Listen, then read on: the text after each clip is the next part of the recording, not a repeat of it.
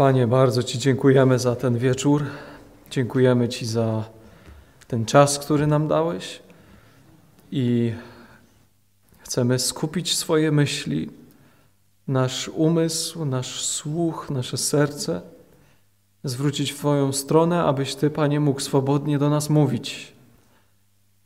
Panie, chcemy rozważać dzisiaj kolejny rozdział Księgi Estery i prosimy Cię, abyś przez ten rozdział do nas mówił, otwierał przed nami to słowo, aby karmiło nas dzisiaj, nas, którzy jesteśmy głodni, aby usłyszeć, co dobry Bóg ma dla nas. Panie, potrzebujemy Twego ducha. Daj nam mądrość, poznanie. Pozwól, aby nasze serca były pokorne dzisiaj. Pomóż nam, Panie, abyśmy takim, taką postawą dzisiaj się odznaczyli, słuchając Twych słów. Niech Twoje imię będzie wywyższone. W imieniu Jezusa. Amen. Amen. Kochani, e, bardzo się cieszę, że mogę dzisiaj usłużyć e, kolejny raz Bożym Słowem, a, e, a rozważamy, a podjąłem się zwiastowania, a my wspólnie rozważamy już kolejny rozdział Księgi Estery. Jak dobrze pamiętacie, rozpoczęliśmy jakiś czas Księgę Estery i tutaj będziemy chcieli kontynuować, dalej rozważać ten tę księgę, która budziła kontrowersje na przestrzeni lat w y, chrześcijańskim świecie. Niemniej jednak znalazła się w kanonie i my y, z tego powodu się cieszymy, ponieważ jest ona głęboka, ma wiele treści. Jak powiedziałem ostatnio, y, i pozwolę sobie jeszcze kilka słów oczywiście przypomnienia, żeby znowu tak płynnie przejść do kolejnego rozdziału. Wspomniałem, że tak się w tej księdze Y, jakby jest, jest spore wyzwanie, aby znaleźć Pana Boga w tej księdze. To jest wyzwanie. Dlaczego? Mówiłem już o tym na pierwszym czy drugim wykładzie. Y, dlatego, że nie pada w tej księdze ani razu imię Pan Bóg. W ogóle nie jest wspomniany Bóg. Z imienia, słowo Bóg nawet tam nie istnieje w księdze Estery.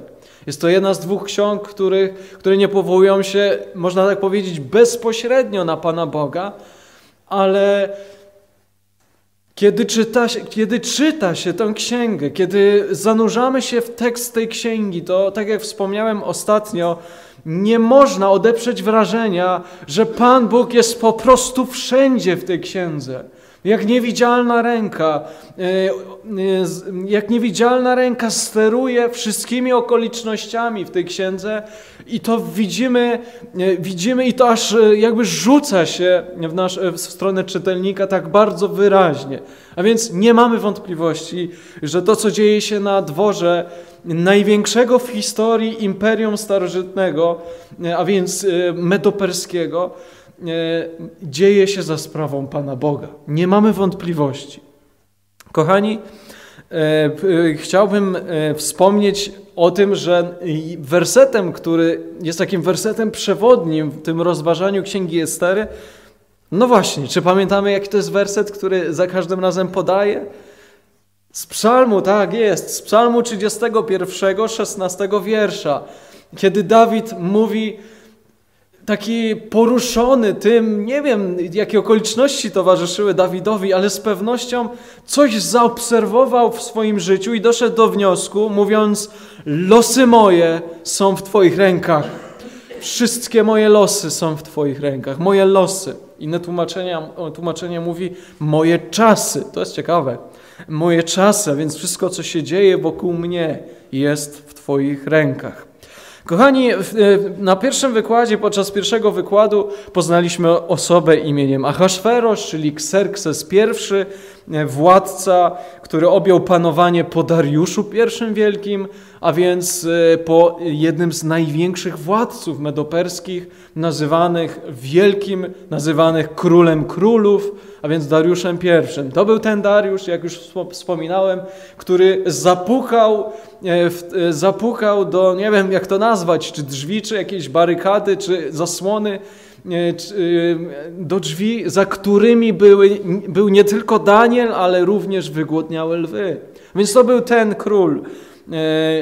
A tutaj mamy jego syna Achaszwerosza, Achaszwerosza, który objął po Dariuszu panowanie. Wiemy, już powiedziałem o tym wcześniej, że był to władca najpotężniejszego i największego w starożytności. Może pozostańmy przy największym, bo potężniejsze przecież później przyszło, o tym zresztą mówiłem.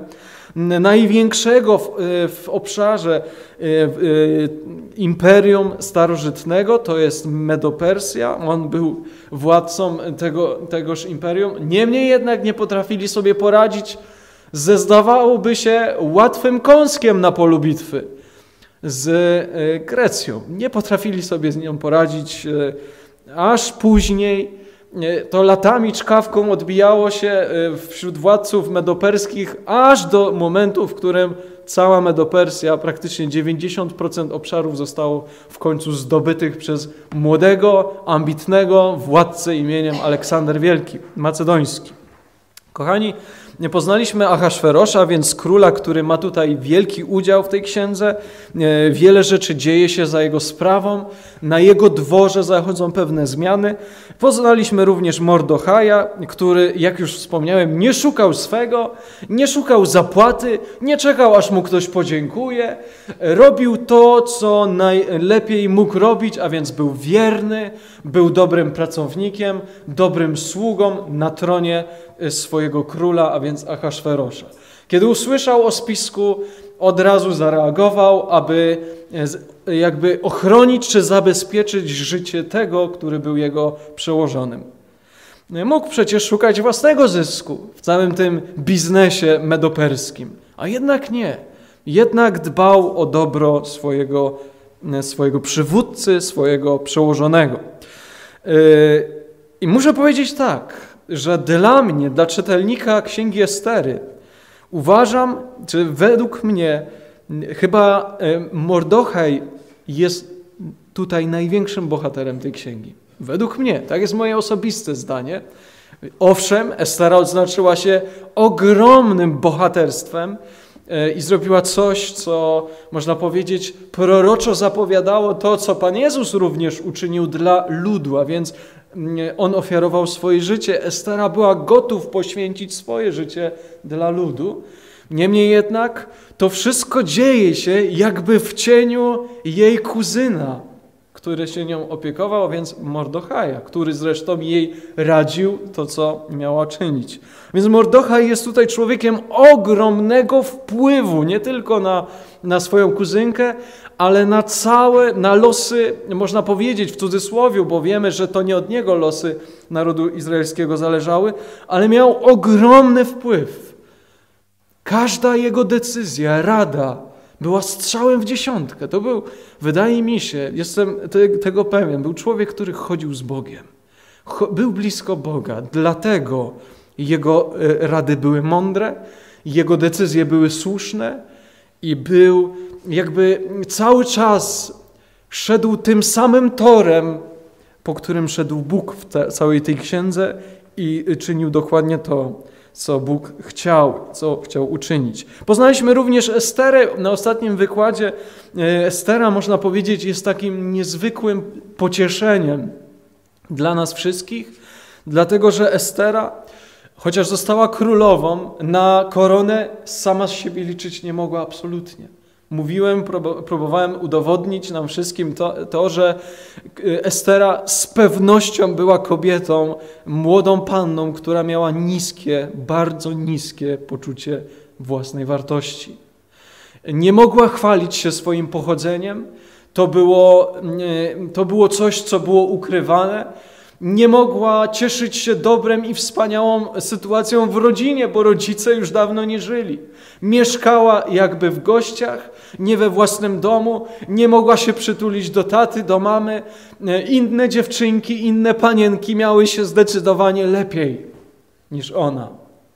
Tak mogła myśleć, patrząc na otoczenie. Ale powiedziałem wówczas, że to jest klasyczny przykład tego, co Bóg czyni również i, z, i uczynił z nami, z ludźmi. A więc wybrał to, co małe. Wybrał to, co w oczach świata się nie liczy. Wybrał to, co mówi samo o, o sobie. Ja nie mam jakiejś większej wartości. Cóż ja mogę uczynić? Wybrał właśnie Esterę, aby dostąpiła godności królewskiej. Z pewnością było mnóstwo panien, które miały plecy, miały swoich ojców ustawionych na dworze, miały swoich wujów, miały swoje rodziny blisko króla i one jakby w pierwszej kolejności miały szansę wejść na, tro na tron, e, na tron, po koronę królowej. Niemniej jednak Estera, dziewczynka z prowincji, zdawałoby się, zupełnie z, z dala od środowiska e, dworu królewskiego, dostaje się na to miejsce. Kochani, e, kończąc w zasadzie to przypomnienie, muszę tutaj zauważyć, że oboje, i to zaskakuje mnie i dochodzę do różnych wniosków, ale zaskakuje mnie to, że zarówno Mordochaj, jak i Estera nie mówili albo nie dzielili się, nie mówili, nie dzielili się informacją na temat swojego pochodzenia. Kryli to. Nawet dochodzi do sytuacji, zaraz zresztą przeczytamy, iż, e, iż e, stanowisko Mordochaja było zagrożone tym, gdyż powiedział, że jest z pochodzenia żydowskiego. Kochani, zechciejmy więc otworzyć już e, rozdział trzeci i tutaj będziemy chcieli, e, chcie, będziemy chcieli już sobie zacytować ten rozdział. E, mówiłem o tym, mówiłem również o tym, że drugi rozdział, gdyby tak wpleść w historię, historię, starożytną historię, drugi rozdział rozpoczyna się klęską wojenną, porażką wojenną tego króla, ponieważ wraca z Grecji pobity, wyruszył z ogromnym wojskiem. Y, niektórzy y, historycy mówią, pół miliona ludzi ruszyło na tą wojnę z Grecją, która nie potrafiła wystawić takiego wojska. Poza tym wielka flota morska, zaciągnięte okręty z Egiptu, z innych y, zresztą też rejonów ówczesnego świata i Grecy rozbili flotę o wiele większą, a więc wraca król do swojego, do swojego imperium i należy zająć się sprawą królowej Waszty i nowej królowej. Więc tak rozpoczął się drugi rozdział, a my teraz czytamy rozdział trzeci. Po tych wydarzeniach król Ahasferosz w sposób szczególny wyróżnił Hamana, syna Hamedaty, potomka Agaga.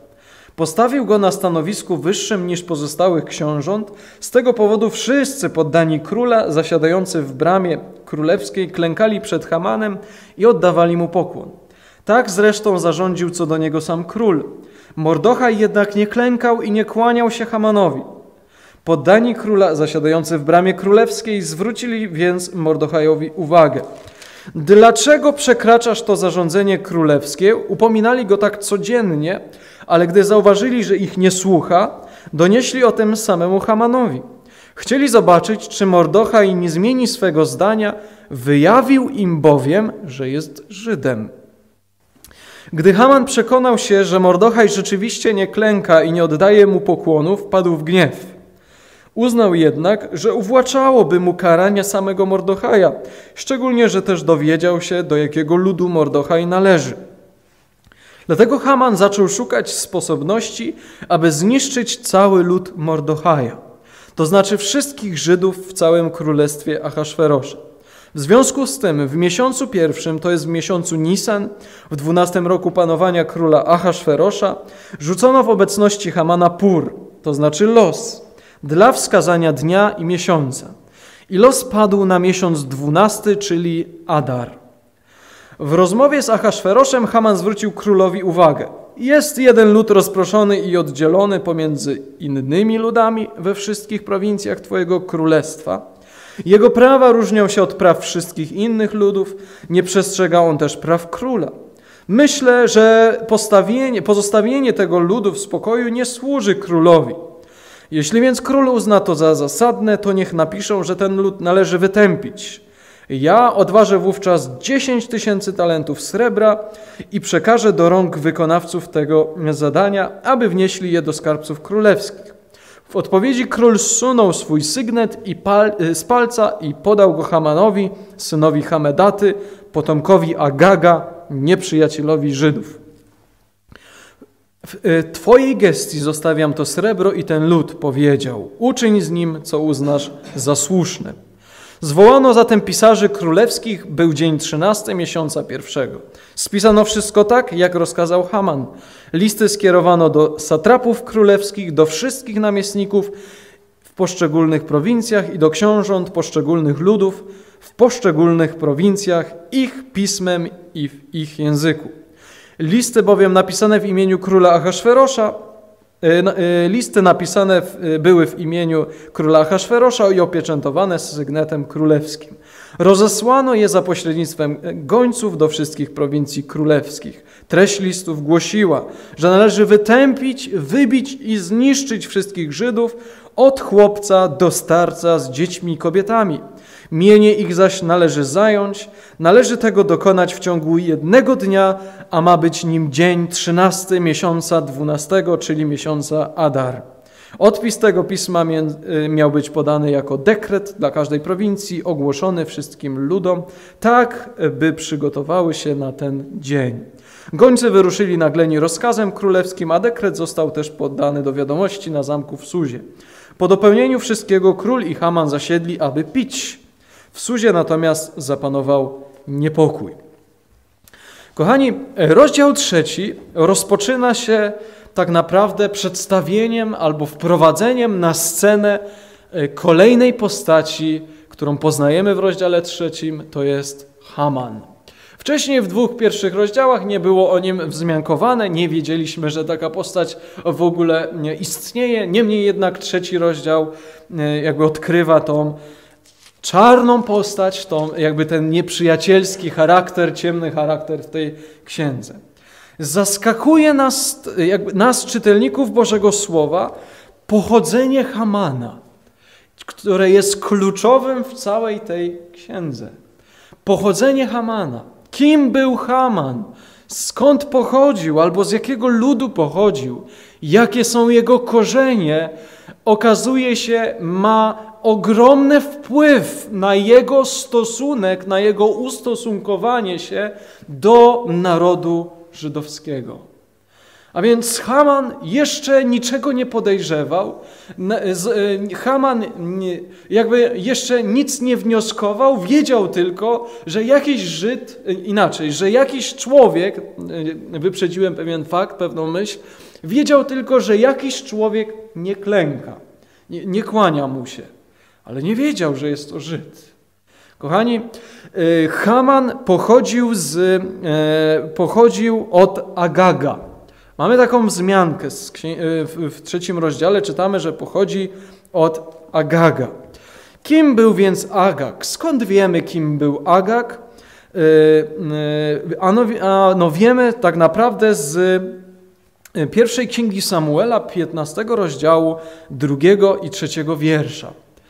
E, wiemy, że Agag e, był e, królem Amalekitów.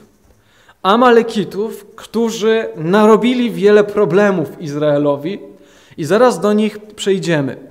Kochani, aby przejść zgrabnie przez tą całą, przez, tą, przez to całe korzenie naszego tutaj bohatera, w cudzysłowie oczywiście tej postaci, którą jest Haman, musimy otworzyć sobie drugi rozdział Księgi Mojżesza, 17, nie, przepraszam, drugi, drugą Księgę Mojżesza, 17 rozdział, 14 wiersz.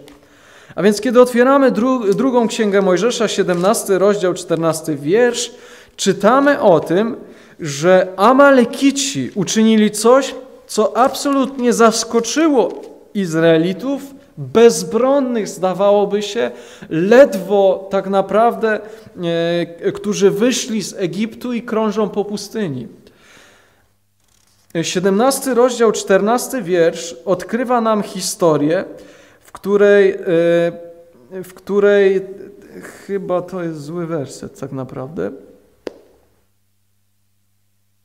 Zły werset przytoczyłem. Musiałbym sobie tutaj od Y, zaraz znaleźć, ale y, z pamięci.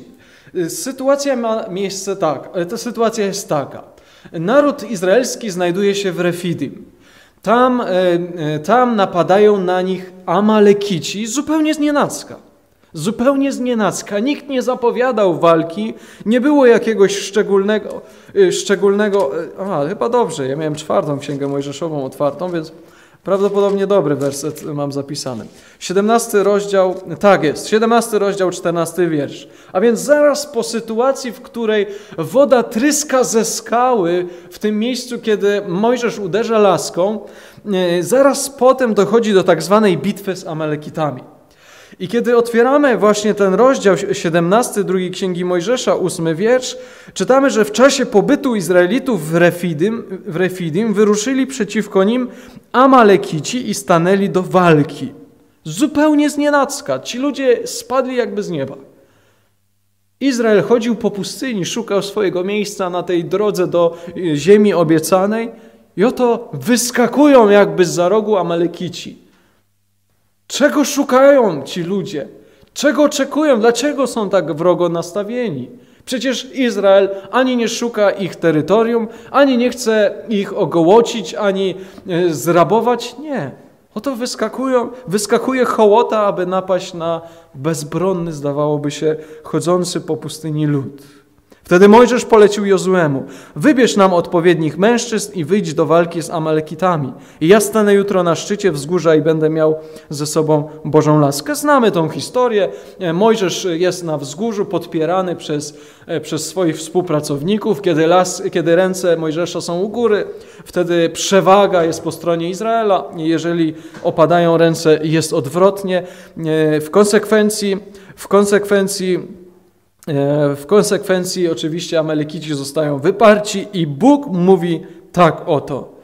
E, zapisz to na pamiątkę na zwoju i każ zapamiętać Jozuemu, że całkowicie wymarzę spod nieba pamięć o Amaleku. Tak mówi Pan Bóg w tej, w tej historii do Mojżesza. Mojżeszu, widzisz ten lud, który cię napadł? Ten lud przestanie istnieć wymarzę z pamięci zupełnie ten lud, wytępię ten lud.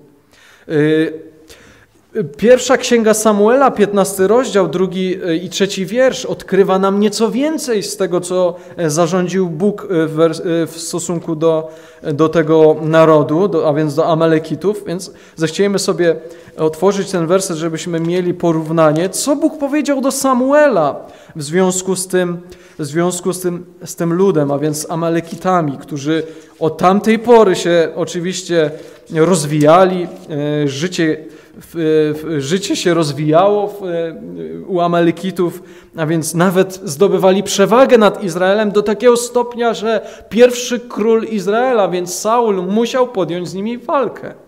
Kochani, 15 rozdział pierwszej księgi Samuela, e, od drugiego do trzeciego wiersza, czytamy tak.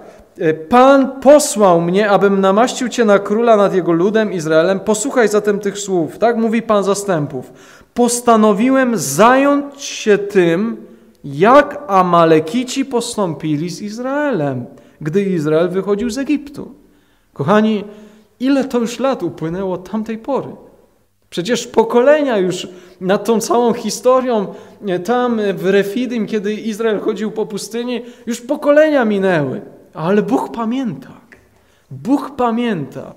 Powiem nawet więcej. Nadchodzi dzień sądu, na którym Bóg pamięta, jak ludzie traktowali jego lud Izrael. I to będzie e, też sprawą sądową. Kiedyś, kiedy ludzie staną. E, znamy tą historię, kiedy, kiedy e, w Nowym Testamencie jest wzmianka o tym, jakie ludzie mieli usposobienie do braci Pana Jezusa, Tutaj jest interpretacja, w zasadzie jest, można powiedzieć, e, e, nacisk jest na to, jak ludzie traktowali właśnie naród izraelski. Powiem tak, Bóg pamięta i nie zapomni. I to jest dowód na to, że Bóg pamiętał. Słuchaj Saulu, Samuelu, postanowiłem zająć się tym, jak Amalekici postąpili z Izraelem, gdy Izrael wychodził z Egiptu. Stanęli mu wówczas, wówczas na przeszkodzie. Wyrusz więc teraz i pobij Amalekitów. Wytęp ich jako obłożonych klątwą ich samych i wszystko, co do nich należy. A więc zarządzenie było ze strony Pana Boga jednoznaczne. Masz zająć się e, Amalekitami i ich wytępić. I tutaj można powiedzieć, był kamień, o który potknął się Saul. Kiedy Saul wyruszył na Amalekitów, ciągle będąc przekonanym, że czyni absolutnie Bożą wolę, zachował Agaga właśnie, czyli króla Amalekitów przy życiu, a miał go przecież zabić w tym momencie. A więc miał, to wszystko było obłożone klątwą. Co więcej, Saul zachował to wszystko, co było takie tłuste, takie dorodne, zachował przy życiu, aby ofiarować to Bogu.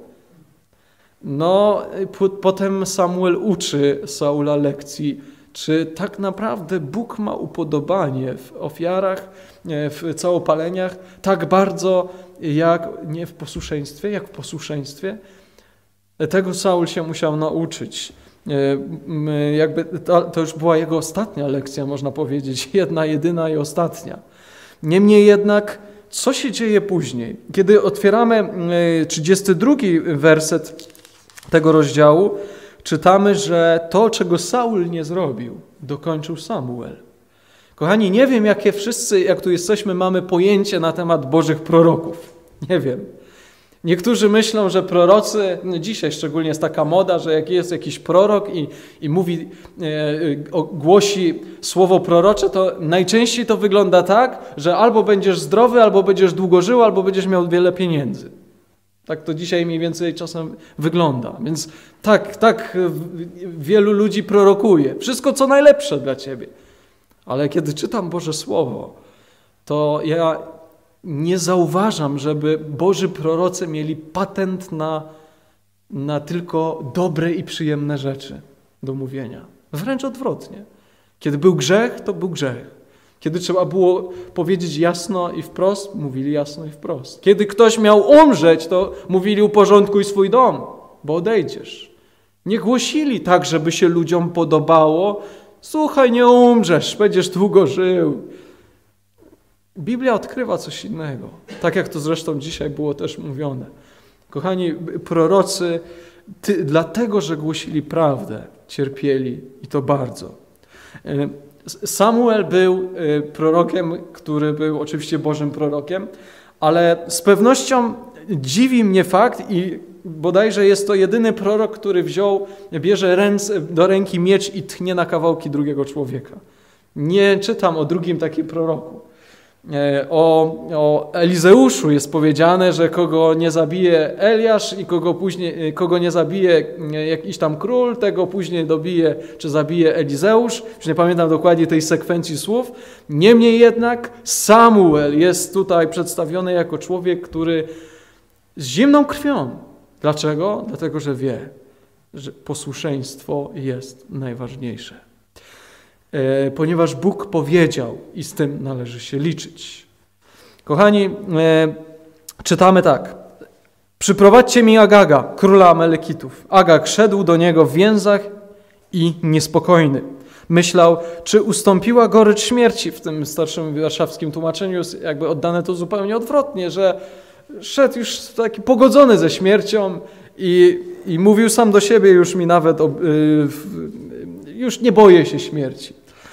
E, jednak Samuel powiedział: Jak twój miecz pozbawiał kobiety dzieci, tak niech wśród kobiet nie ma ich twoja matka. I poćwiartował Samuel Agaga w Gilgal przed obliczem Pana. I oto mamy sytuację, w której w jakiś sposób, nie wiadomo jaki, e, niektóre, chyba nawet film, był taki film e, Jedna noc z królem się nazywa. To jest film, o który opowiada o historii Estery na dworze króla Ahasferosza. I tam bodajże, bardzo dawno ten film oglądałem, ale tam bodajże była właśnie ta scena, że w jakiś sposób potomstwo Agaga gdzieś uniknęło tej rzezi, która wtedy miała miejsce i oto mamy Hamana. E, musimy się z tym zgodzić, bo przecież Biblia mówi wyraźnie, że Haman jest potomkiem Agaga. A więc z rodu królewskiego, króla Amalekitów, nagle gdzieś tam Haman się znajduje w tej linii, e, w linii e, potomków. I muszę powiedzieć tak, że tego holokaustu jego narodu z przeszłości z pewnością nie wymazał czas, nie wymazały okoliczności bardzo pomyślne, w których się znalazł, z pewnością z dziada w pradziada, z ojca w ojca, ta wieść o tym, że kiedyś był taki naród, jak Izrael pod wodzą takiego króla jak Saul i proroka, który był Samuel, wytępił praktycznie, praktycznie wszystkie osoby, ale jakimś cudem ktoś tam przeżył. I z pewnością ta wieść była podawana do takiego, aż do momentu, kiedy nagle mm, rodzi się Haman, dojrzewa, ktoś mu opowiada tą historię jego rodziny, jego przodków, i wtedy w Hamanie rodzi się prawdziwy, niepohamowany, diabelski antysemityzm, czyli nienawiść do narodu izraelskiego. Kochani, Haman nie wiedział, że Mordochaj był Żydem, aż do momentu, kiedy wyszło to na jaw. I oto mamy sytuację, w której, sytuację, w której, e, w, sytuację, w której e, dowiadujemy się, czy dowiadujemy się, czytamy o Mordochaju. E, muszę powiedzieć, że teraz zwrócimy uwagę na coś, co mnie fascynuje osobiście i sprawia, że nie mogę odeprzeć wrażenia, że wszystko, co tutaj czytam, jest jednym wielkim Bożym projektem. No bo jak to wytłumaczyć, kochani, że kiedyś, e, kiedy doszło do walki Amalekitów z Izraelem pod wodzą Saula, to z Amalekitami walczył Beniaminita, a więc e, potomek Beniamina, Saul. I oto czytamy historię Estery, i mamy, Aga, mamy Hamana, potomka Agaga, i mamy Mordochaja, potomka Beniamina. Jak to wytłumaczyć? Że jakby historia się powtarza. Dochodzi do starcia już nie wojsk, ale dwóch osób, które mają dokładnie tę samą, tą samą linię genealogiczną, jak wówczas, kiedy Agag był e, postawiony, kiedy Amalekici ginęli z rąk Saula. Jestem tego pewien, że Haman wiedział, że kiedyś był taki król i on pochodził od Beniamina. No to było przecież wiadome. Pokolenia w Izraelu były czymś bardzo ważnym. I oto dowiaduje się, że ma, ma na dworze, jest tutaj w tym miejscu na zamku w Suzie Żyd. A w dodatku jest to jeszcze potomek Beniamina a więc mo być może jeszcze nawet związany jakiś, w jakiś sposób z tym żądnym krwi Saulem, królem, który kiedyś podniósł rękę na cały lud.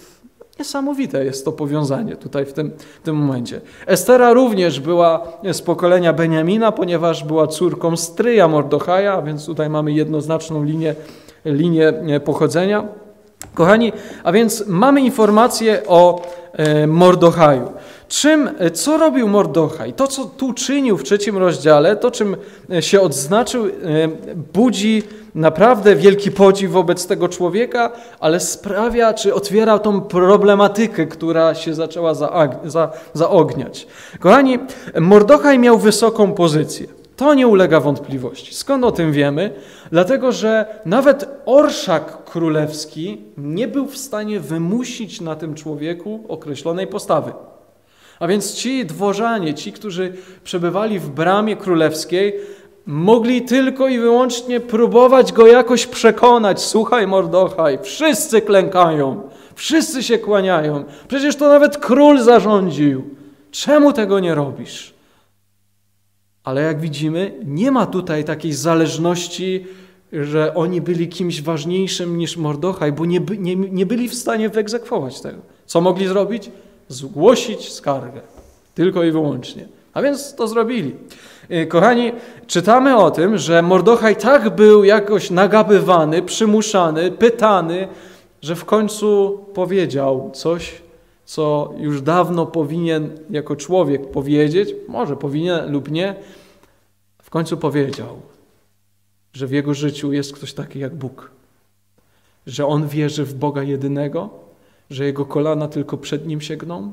W końcu powiedział świadectwo swojej wiary, swojego życia, swojego pochodzenia. Powiedzieć, że jest się Żydem, jest to równoznaczne z tym, że wierzy się w jedynego Boga, jeszcze szczególnie w tych okolicznościach. W jedynego Boga, Boga Izraela, Boga Jahwe. E, w tych okolicznościach to to oznaczało, bo pytali się, dlaczego nie klękasz. Kochani, nie wiemy, dlaczego Mordochaj nie klękał. Możemy się domyślać. Być może nie klękał dlatego, iż napisano, że tylko Bogu oddasz pokłon i Jemu służyć będziesz. Być może dlatego. Być może dlatego nie klękał, iż nie chciał chwały w postaci pokłonu oddać człowiekowi, o którym być może, znowu mówię, wiedział, a wydaje mi się, że wiedział, że był Amalekitą, czy jest Amalekitą z pochodzenia. Kochani, tu rodzą się pewne takie antagonizmy tych dwóch postaci, a więc jeden ma awersję do drugiego, drugi ma jakieś, jakieś, e, jakieś poczucie dystansu wobec drugiego. Skąd, e, jakby skąd to pochodzi z historii tych dwóch narodów? E, Mordochaj nie był uparty, bracia i siostry, ani złośliwy, lecz wierny i konsekwentny. To nie był człowiek, który pół godziny e, na początku nabożeństwa śpiewał o tym, że nigdy kolan nie zegnie przed e, innym człowiekiem, a w życiu codziennym te kolana zginął. To nie był taki człowiek. Jak wielu chrześcijan dzisiaj pięknie śpiewa, pięknie mówi, pięknie wypowiada słowa, Pamiętam, kiedyś mieliśmy takie spotkanie młodzieżowe e, większego, większego formatu, więcej społeczności się zjechało i był taki jeden młody człowiek. Mieliśmy takie grupki zrobione, jakieś wersety mieliśmy rozważać, to była taka praca w grupach. I on wtedy powiedział tak, e, ja już nie pamiętam dokładnie, co rozważaliśmy, ale on wtedy podzielił się taką myślą, e, że postanowił zwrócić uwagę na to, co śpiewa, bo stwierdził, że on w tych pieśniach bardzo często kłamie. Po prostu kłamie. Bo śpiewa piękne rzeczy, wypowiada piękne rzeczy, a jego życie nie idzie za tym, co śpiewa. E, kochani, my dzisiaj żyjemy w czasach, w których dużo się mówi i sami dużo mówimy. Ale chrześcijaństwo nie, po, nie polega tak bardzo na tym, żeby mówić, jak na tym, żeby czynić. Miłość jest czynem, czytamy w, Boży, w Bożym Słowie. Czyny mają ogromne znaczenie, ponieważ są dowodem potwierdzającym to, że w nas się zrodziło nowe życie. Po owocach ich poznacie, mówi dalej Boże Słowo. Niektórzy tak przypominają albo wracają pamięcią do tej sytuacji, kiedy Pan Jezus był kuszony na pustyni i tak bardzo jakby chwytają się e, tego, że Pan Jezus słowem odpierał diabła. Kochani, to nie jest prawda. Diabeł nie był odparty słowem, on był odparty posłuszeństwem wobec tego słowa. Tym, że Pan Jezus był absolutnie posłuszny temu, co cytuje. Dlatego diabeł ustąpił. Powiedział, że nic nie wskóra. Y, samo cytowanie czy wypowiadania słowa Bożego na diabła nie działa. On sam je cytował Panu Jezusowi. Więc to nie jest żadna broń wobec Niego, ale absolutna broń. Y, y, jakby broń wobec diabła jest, tą bronią jest Twoje posłuszeństwo wobec Bożego Słowa. Jeżeli będziesz posłuszny, będziesz wierny Bożemu Słowu, On będzie musiał ustąpić w różnych okolicznościach. Więc y, to jest pewna lekcja. Oczywiście, że cytowanie Bożego Słowa wnosi wiele błogosławieństw, wiele błogosławieństw, ale nie jest zaklęciem, które odpiera ataki wroga. Absolutnie nie. Wielu ludzi próbowało cytować i, i rzucać różnego rodzaju hasła i tak dalej. To nie działa w ten sposób, jakbyśmy, e, jakbyśmy chcieli, albo jakby nie chcieli, jakby chcieli ludzie, o których właśnie teraz wspomniałem, że w ten sposób jakby odpierają wroga. Nie. Posłuszeństwo Bożemu Słowu. To jest coś, co na diable zrobi wrażenie i co jakby go unieszkodliwia w tym momencie. Nie jest w stanie wskórać. Dlaczego? Bo jesteś Bogu posłuszny. Co czytamy zresztą w Nowym Testamencie? Poddajcie się Bogu. W pierwszej kolejności, prawda? Poddajcie się Bogu, a później przeciwstawcie się diabłu, bo nie da się przeciwstawić diabłu, jeśli się nie jest poddanym Bogu najpierw. Samemu nie zwalczymy, same w pojedynkę nie zwalczymy takiej mocy i takiego, takiej potęgi, jaką On jest. Ale większy jest ten, który jest w nas, niż ten, który jest przeciwko nam. Tylko najpierw należy się poddać Panu Bogu, będąc Mu posłusznym, a wtedy czytamy, ucieknie od was, ucieknie od nas. Kochani, Mordochaj powiedział, że jest Żydem. Jak ważne jest świadectwo. Jak ważne jest świadectwo. E, jednak świadectwo rodzi problemy i rodzi prześladowania. E, modlimy się o prześladowanych chrześcijan. I powiem tak, oni nigdy nie byliby prześladowani, gdyby nie powiedzieli, że wierzą w Jezusa. Nigdy by nie byli prześladowani. Dlaczego? Dlatego, że e, nienawiść do człowieka, czy nienawiść wśród prześladowców zaczyna dopiero nabierać na sile, jeśli człowiek przyzna się do Jezusa. Znienawidzili was, dlatego że najpierw znienawidzili mnie, czytamy w Bożym Słowie. Dlatego was nienawidzą. Kochani, nie łudźmy się, nie łudźmy się. Y, świat y, będzie nienawidził, nienawidził wierzących ludzi. Dlaczego? Dlatego, że nienawidzi ludzka upadła natura Pana Jezusa, Pana Boga. Nienawidzi. Człowiek upadły, upadły nie chce mieć z Bogiem nic wspólnego. Człowiek upadły. Nienawidzi, tak jak mówi Pan Jezus. Niemniej jednak tak. Wydaje mi się, że takich sytuacji w życiu, jaką, jaka spotkała Mordochaja, jest całe mnóstwo w naszym życiu. W naszym życiu. No napij się w końcu, to tylko kieliszek przecież. To tylko jakieś jedno piwo. No nie klękniesz, no zapal sobie. Albo młodzi, no najczęściej, najczęściej młodzi y, ludzie w szkołach to słyszą. No przecież to tylko dyskoteka, impreza, co tam. Niektórzy, którzy już tam gdzieś pozapraszani byli na jakieś spotkania, nowoczesne spotkania młodzieżowe, powiedzą tak: No chodź na, dysko, na dyskotekę, przecież byłem u ciebie na młodzieżówce w kościele, jest prawie tak samo. W niektórych miejscach to tak czasem wygląda. Kochani, y, takich sytuacji jest bardzo wiele, kiedy jakby presja otoczenia zaczyna naciskać na wierzącego. Czy się ugnie, czy nie. Czy się napije, czy nie. Czy zapali, czy spróbuje. Czy zrobi to, co robi świat. Y, jest tak bardzo często.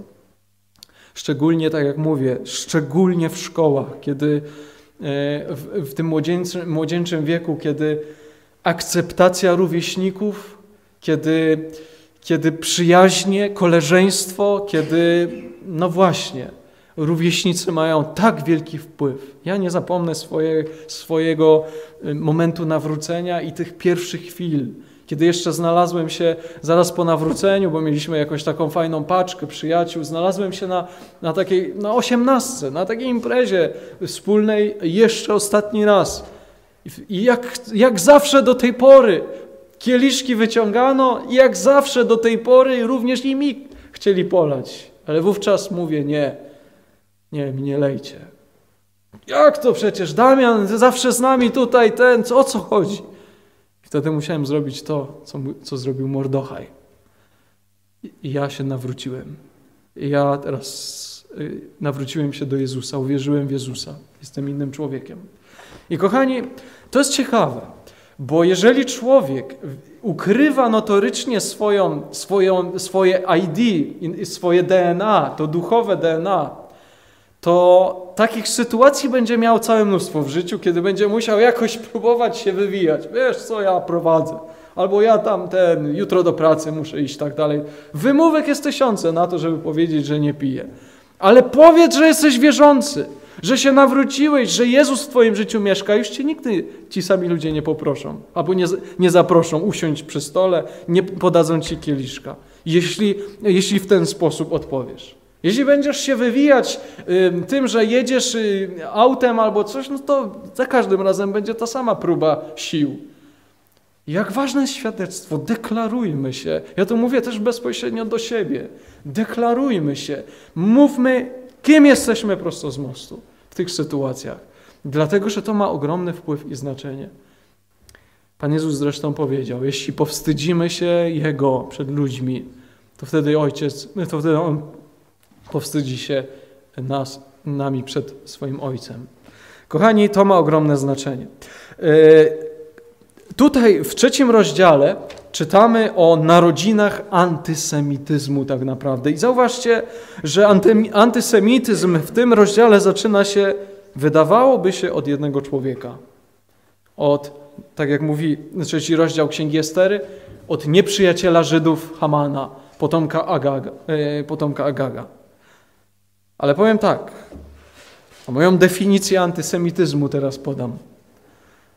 Antysemityzm zaczyna się tam, gdzie diabeł znajdzie swojego naśladowcę. Ja to tak rozumiem. Gdzie diabeł znajdzie swojego naśladowcę. Dlaczego? Bo diabeł nienawidzi tego, do czego Bóg się przyznaje. A Bóg się przyznał do Izraela, zawarł z nim przymierze, powiedział o nim: Jesteś moją żoną, moją umiłowaną na zawsze.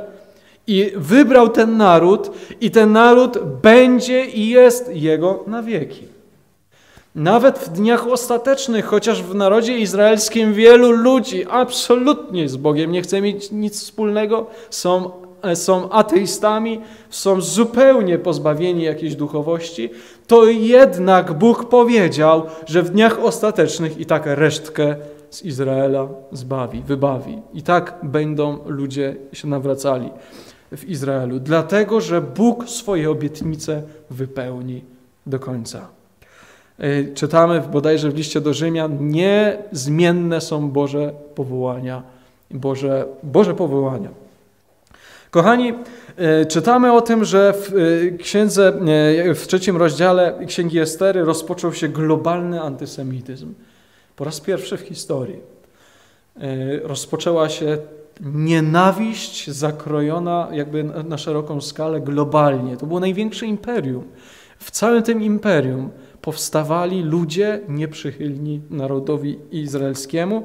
E, o tym dowiemy się zresztą w kolejnych rozdziałach, iż takich nieprzyjaciół było bardzo wiele w tym narodzie.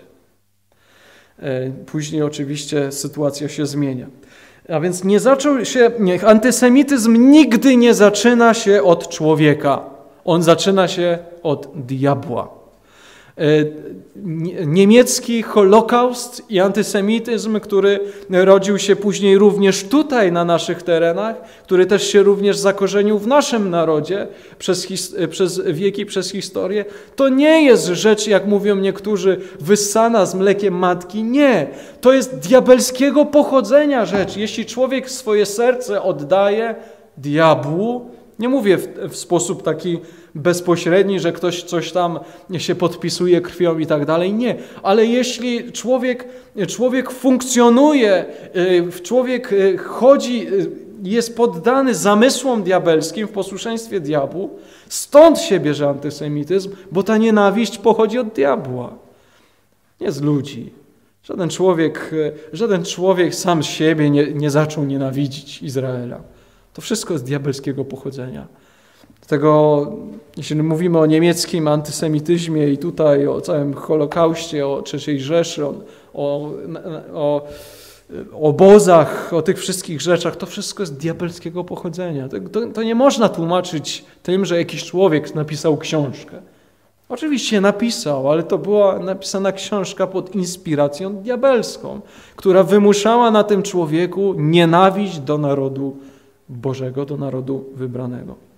Kochani, e, trzeci rozdział Księgi Estery, tutaj będę już zamykał to rozważanie, e, e, odkrywa przed nami jeszcze jedną rzecz, a więc rzucanie losu.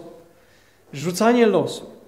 Kochani, tutaj Haman postanowił coś zrobić bardzo dziwnego, a więc postanowił rzucić los i wylosować dzień zagłady Izraela. Wylosować dzień zagłady, wytępienia. Jednak musimy tutaj y, jakby zwrócić uwagę na jedną rzecz, bo Salomon, król, król Izraela, Salomon, w przypowieściach Salomona, 16 rozdziale, 33 y, wierszu mówi tak. Losem potrząsa się w zanadrzu, taka była kiedyś metoda, lecz jego rozstrzygnięcie zależy od Pana. Możesz sobie, człowieku, Hamanie, losować, co chcesz. Ale wiedz, nawet ten dzień, który wylosowałeś, tak wybrał sobie Pan Bóg. Oczywiście Pan Bóg nie wybrał zagłady dla Żydów, dla Izraelitów, ale w jakiś dziwny sposób, później się to oczywiście świętem stało, Pan Bóg zamierzył, że w tym właśnie dniu będzie świę- i w tym miesiącu będzie święto, które będzie świętowane w Izraelu. Więc to nie jest tak, że kiedy rzu- rzucasz kośćmi, jak to niektórzy gdzieś tam e, sobie e, rzucają, albo coś losujesz, e, losowo zostałem wybrany, albo losowo coś się wy- wydarzyło, albo coś tam, szczęśliwy los, to wcale tak nie jest. Salomon to rozumiał inaczej. Tam, gdzie wydawałoby się, że coś jest losowe, to okazuje się, że to Pan Bóg rozstrzyga. E, Kochani, a kiedy mówimy o losach, a szczególnie naszych losach, to pozwólcie, że zamknę to rozważanie znowu tym samym fragmentem, który powinien nam towarzyszyć przez całe, całą księgę Estery. Moje losy są w Twoich rękach, Panie. Moje losy są w Twoich rękach, mówi psalmista Dawid w psalmie 31 w rozdziale y, szes- w wersecie sz- 16. W Twoim ręku moje losy. Zostańcie z Bogiem. Niech Was Bóg błogosławi. Amen.